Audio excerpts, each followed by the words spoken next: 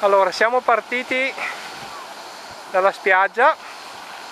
Mirko Seitani adesso andiamo a vedere che, qual è il sentiero giusto. Si sale di qua. Si continua da questa parte. Di sotto c'è la spiaggia. Stamattina siamo saltati fuori da qua. E se continuiamo invece sul sentiero grande che abbiamo qui di fronte vediamo dove arriva. Là sotto c'è la spiaggia in fondo c'è la megalo. Il sentiero continua qui sotto mentre noi prima siamo scesi da sopra. Il sentiero continua a picco sul mare diciamo. Comunque costeggia il mare. Sempre lungo il sentiero di ritorno. Qua ci sono dei bellissimi ulivi che devono avere parecchi decenni. Eccolo lì come contorto e anche questi altri a questo. Deve essere veramente deve essere veramente un ulivo vecchissimo. Sarà più di un metro di diametro contorto da paura. Uno spettacolo della natura oserei dire. L'altro spettacolo della natura all'ombra. Non so se lo riuscite a vedere una parte di sentiero è anche nel bosco. È un po' più fresco. Un pezzo di salita su questi sassi.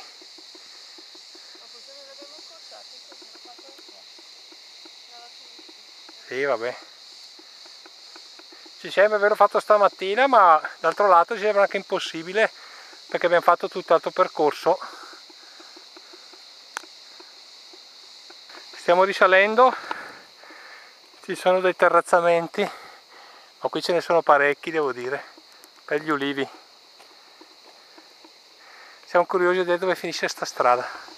Allora il sentiero continua qua. Come punto di riferimento qui mi sembra abbastanza largo il sentiero vediamo se continua così. C'è questa casetta qua diciamo che la casetta semi distrutta come tetto la si vede meglio da questo lato. E qui continua il sentiero per tornare verso Potami Beach. Allora 200 metri prima abbiamo lasciato l'auto. Qua c'è un eh, trivio un crocevia di tre strade diciamo così.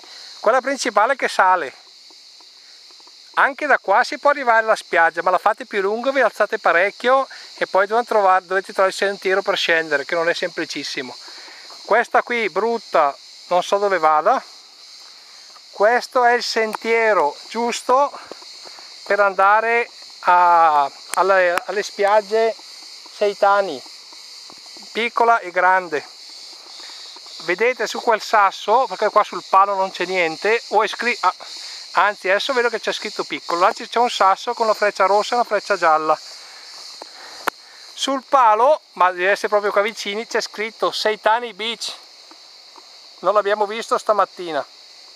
Mannaggia noi. Comunque ci siamo arrivati eh? non è che ci abbiamo, messo, ci abbiamo messo un po' di più ma ci siamo arrivati. Bene spero vi sia utile come informazione